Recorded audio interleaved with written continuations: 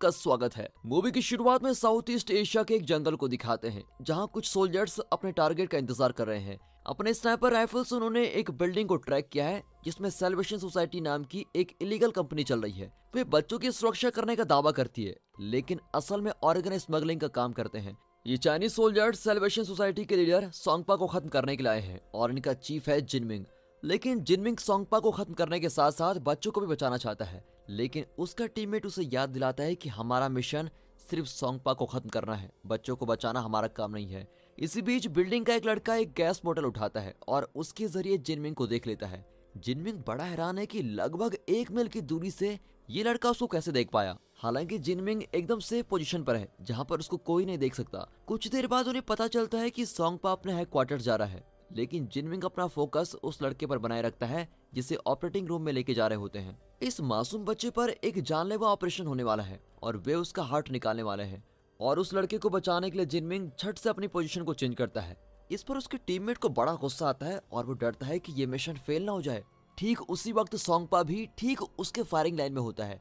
अब जिनमिंग को फैसला करना होता है कि वो सोंगपा को शूट करना चाहता है या लड़के को बचाना चाहता है। लेकिन वो लड़के को बचाने का फैसला करता है और उस आदमी को शूट कर देता है जो लड़के पर ऑपरेशन करने वाला था। गन शॉट सुनते ही सॉन्ग सोंगपा तुरंत कार में बैठ जाता है, लेकिन जिनमिंग किसी तरह उसके कंधे पर शूट कर देता है। अब सोंगपा के आदमी हर तरफ़ अंधाधुंध शूट करने लगते हैं और कई मासूम बच्चे भी मारे जाते हैं।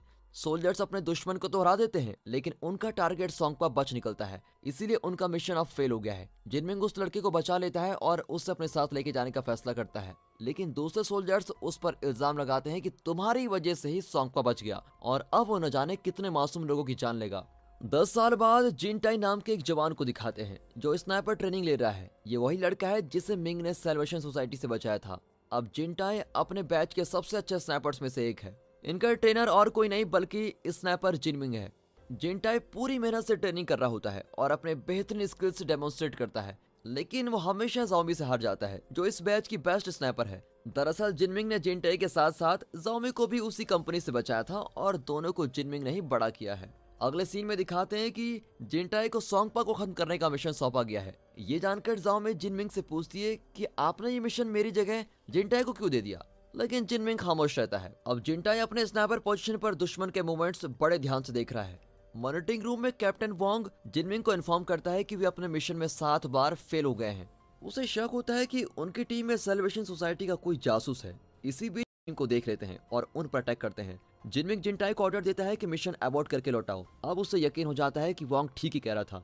इतने में सोंगपा के आदमी उनके सारे कम्युनिकेशन और मॉनिटरिंग चैनल्स को जाम कर देते हैं। और फिर यहाँ ये सारे सोल्जर्स को इंस्ट्रक्शन नहीं दे पाते। लेकिन जिनमिंग की कम्युनिकेशन लाइन में थोड़ा सिग्नल आ रहा होता है और जिनटाई बताता है कि मैं सोंगपा को खत्म किए बगैर वापस नहीं लौटूँगा। अब और कोई रास्ता ना पाकर जिनमिंग जोमी की लीडरशिप में दूसरी टीम को भेजता है। लेकिन वोंग कहता है कि जब तक उस जासूस का पता नहीं चल पाता, हमें दूसरी टीम को नहीं भेजना चाहिए, क्योंकि दुश्मन को हमारे हर मूवमेंट्स की खबर मिल रही है। इस तरह यह मिशन कभी सक्सेसफुल नहीं होगा। इस पर जिनमिंग और वोंग के बीच बहुत बहस होती है। कुछ देर बाद उनका कनेक्शन ठीक हो जाता है और तब जिंटा इन्फॉर्म करता है कि हमने ये जगह क्लियर कर दी है, लेकिन सॉन्ग पर यहाँ पर भी नहीं है। फिर वो फुटेज को रिप्लाई करता है।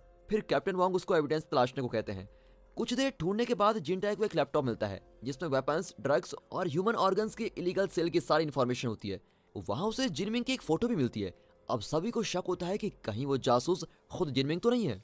जिनमिंग अपनी सफ़ाई में कुछ कहना चाहता है, लेकिन वोंग जाओमी को ऑर्डर देता है कि जिनमिंग की गन ले लो। जिनमिंग बहुत दुखी होता है कि 30 साल की सर्विस के बाद भी उस पर शक किया जा रहा है। जब जाओमी जिनमिंग की गन ले लेती है तो असली जासूस जिनमिंग पर शूट करता है, लेकिन खुशकिस्मती से जाओमी जिनमिंग को बचा लेती है। अब वहाँ पर हलचल मच जाती है। तब पता चलता है कि जासूस एक नहीं, बल्कि आर्मी बेस के कई सोल्जर्स सॉन्ग लिए काम कर रहे हैं। अब आवाज़ को सुनकर जिंटाई तुरंत अपने साथियों को बचाने के लिए आ जाता है। आर्मी बेस में जॉमी और जिनमिंग मिलकर दुश्मनों से लड़ते हैं। जब जिंटाई वहाँ पहुँचता है तो उसे अपने साथियों की लाशें मिलती है। वोंग भी मरने की हालत में होता है और वो जिंटाई को बताता है कि असली गद्दार जिनमिंग और जामी है। अब ये सुनकर जिंटाई एकदम शौक हो जाता है। अब इससे पहले कि वो कुछ कर सके, जिनमिंग उसके सर पर गन पॉइंट करता है और कहता है कि मैं तुम्हें कुछ नहीं करूँगा। लेकिन जिंटाई को उस पर विश्वास ही नहीं होता और उन दोनों की लड़ाई होती है। कुछ देर बाद जाओमी भी फाइट में शामिल हो जाती है। जिंटाई जामी को शूट करता है, लेकिन जिनमिंग बीच में आ जाता है और उसे गोली लग जाती है।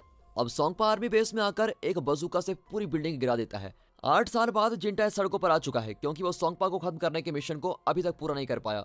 वो शराब पीकर सड़क पर चल रहा होता है, तब फैंग नाम का एक छोटा लड़का भाग कर आता है। कुछ आदमी उसको चेस कर रहे होते हैं, क्योंकि उसने पैसे चुराए थे।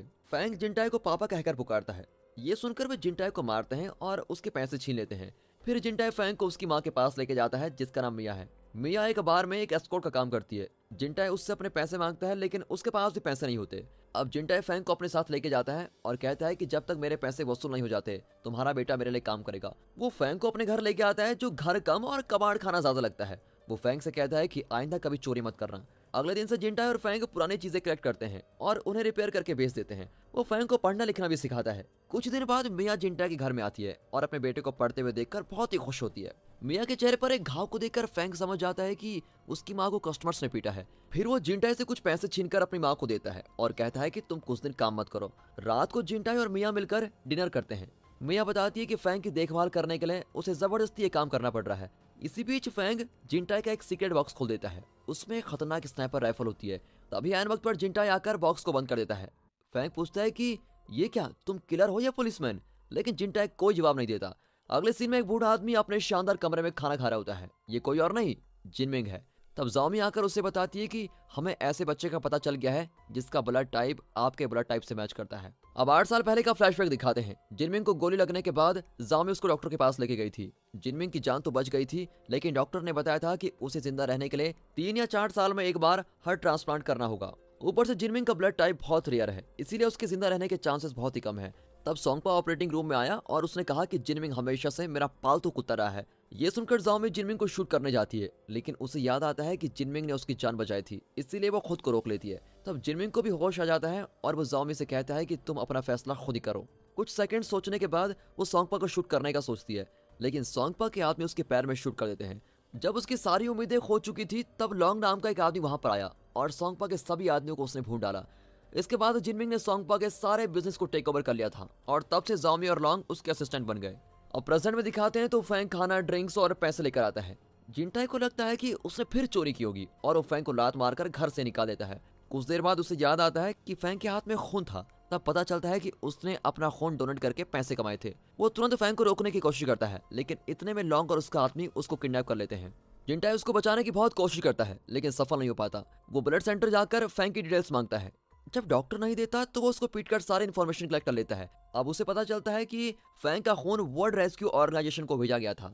अगले सीन में जिंटाई एक स्टाफ मेंबर के भेस में उस ऑर्गेनाइजेशन में घुस जाता है। अंदर उसे कई लाशें भी मिलती है, लेकिन फैंग की लाश नहीं होती। उसे तसली होती है कि फैंग ज़िंदा है। और तभी एक डॉक्टर आकर उसकी गर्दन पर कुछ इंजेक्ट करता है। जिंटाई मुड़कर देखता है तो पहचान जाता है कि ये वही डॉक्टर है, जिसने बचपन में उसका हार्ट निकालने की कोशिश की थी। वो डॉक्टर को पीटने लगता है और फैंक की लोकेशन पूछता है। अब इससे पहले कि वो कुछ बताए तो जामी उसे शूट कर देती है। वो पास वाली बिल्डिंग से जिंटाई पर भी एम कर रही होती है, लेकिन जिंटाई बचकर कमरे से बाहर चला जाता है। इतने में लॉन्ग के आदमी उस पर अटैक करते हैं, लेकिन वो सबको खत्म कर देता है। फिर लॉन्ग से उसकी घमासान लड़ाई होती है, लेकिन उस इंजेक्शन की वजह से बहुत ही कमज़ोर होता जाता है और टॉप फ्लोर से नीचे गिर जाता है। लेकिन इसके बावजूद वो बचकर घर लौट आता है। मिया उसके घाव पर अब दवा लगाती है जिंटाई प्रॉमिस करता है कुछ देर बाद वो अपना सोल्जर आउटफिट पहनकर युद्ध के लिए तैयार हो जाता है। अगले सीन में जिंटाई लगभग एक मील की दूरी से लॉन्ग के हाथ पर शूट करता है, फिर उसको चेस करके एक जगह लॉक कर देता है। अब लॉन्ग घबराकर उसको एक जगह लेने जाता है, जहाँ कई बच्चों को रखा गया है। अब वहाँ के कंप्यूटर ऑपरेटर के सामने वो लॉन्ग को खत्म कर देता है और उसे वर्ल्ड रेस्क्यू ऑर्गेनाइजेशन के अकाउंट्स को हैक करने को कहता है। जब जॉमी को हैकिंग का पता चलता है तो वो तुरंत जिंटा को कॉल करती है और उसे पैसों का लालच देती है। लेकिन जिंटा नहीं मानता। अब जिंटा उसको एक डील ऑफ़र करता है कि तुम फैंग को मेरे हवाले कर दोगी तो मैं तुम्हारे इलीगल कामों का डाटा तुमको लौटा दूँगा। फिर जामी उसकी डील को मंजूरी कर लेती है और आधी रात को ईस्ट सिटी बिल्डिंग में मिलने को कहती है। जब जामी वहाँ पहुँचती है तो फैंग को लेने एक औरत आई होती है। गुस्से में जामी दोनों पर कुछ वार्निंग राउंड फायर करती है। और जिंटा से कहती है कि तुम चुपचाप मेरे सामने आ जाओ। लेकिन जब वो नहीं आता तो जामी मिया को मार डालने का ऑर्डर देती है और कहती है कि फैंग को कुछ नहीं होना चाहिए क्योंकि हमें फैंग का हट चाहिए। अब मिया और फैंग को दुश्मन घेर लेते हैं, लेकिन जिंटाई दूर से उन सबको खत्म कर देता है। जोमी और जिंटाई के बीच स्नाइपर्स बैटल शुरू हो जाती है और इसी बीच मिया और फैंग भागने की कोशिश करते हैं। लेकिन जोमी मिया को पकड़कर एक चेयर से बाँध देती है और उसे अपने आगे कवर की तरह यूज़ करती है। वक्त निकला जा रहा है। इसलिए जिंटाई तुरंत एक पोजीशन सेलेक्ट करता है, जहाँ से उसको क्लियर शॉट मिल जाता है। अब दोनों एक दूसरे पर एम करके फायर करते हैं। जोमी जिंटाई की छाती पर शूट करती है और जिंटाई चेयर के पैर पर शूट करता है। इस वजह से जाओमी बिल्डिंग से नीचे गिर जाती है। जेंटाई ने अपनी छाती पर एक ब्लड प्रूफ आयरन पीस रखा था, जिसकी वजह से वो बच जाता है। वो मियाँ से कहता है, तुम जल्दी वहाँ से भागो। लेकिन न जाने कहाँ से जिनमिंग आ जाता है और मियाँ को मार डालता है। और जैसे ही जिंटाई वहाँ पहुँचता है तो जिनमिंग फैंग को लेकर वहाँ से निकल पड़ता है। अगले सीन में जैसे जिनविंग अपने घर पहुँचता है तो वो सीधे हार्ट ट्रांसप्लांट की तैयारी करने लगता है। तभी जिन टाई बिल्डिंग के बुलेट प्रूफ ग्लास को शूट करता है। जिनविंग अब घबराकर अपने तीन स्नाइपर्स को भेजता है और अपने दूसरे आदमियों को बिल्डिंग की रखवाली करने को कहता है। गन शॉट्स के ज़रिए वो जिनटाई की लोकेशन का पता लगाने की कोशिश करता है, लेकिन जिनटाई रिमोट कंट्रोल शॉट से उन्हें कंफ्यूज करने लगता है। अब बेस्ट स्नाइपर होने के नाते, वो जिनमिंग के तीनों स्नाइपर्स को एक एक करके खत्म कर देता है। फिर बिल्डिंग में आकर वो जिनमिंग के आदमियों को भी मार डालता है। अब जिनमिंग उसके सामने होता है। लेकिन उसे मारने के बजाय वो अपना आर निकालकर फैंक को लेने जाता है। मौके का फ़ायदा उठाकर जिनमिंग पीछे से शूट करता है, पर जिनटाए उस पर अटैक नहीं करता। जिनमिंग पूछता है कि, तुम उस लड़के को क्यों बचाना चाहते हो? जवाब में जिनटाए पूछता है कि, उस दिन आपने मुझे क्यों बचाया था? इस पर जिनमिंग कुछ नहीं कह पाता, क्योंकि वह अपने बेटे को नहीं मार सकता। जिनटाए फैंग को उठाकर वहाँ से चला जाता है, और तब जिनमिंग अपने हार्ट डिज़ीज़ का शिकार हो जाता है। अंत में दिखाते हैं कि चिंटाई फैंग को स्कूल छोड़ने जाता है, और फैंग उसको पापा कहकर पुकार लेता है। और दोस्तों, इसी के साथ ये मूवी यहाँ पर खत्म होती है। दोस्तों, अगर वीडियो अच्छी लगी हो, मूवी अच्छी लगी हो, और एक्सप्लेनेशन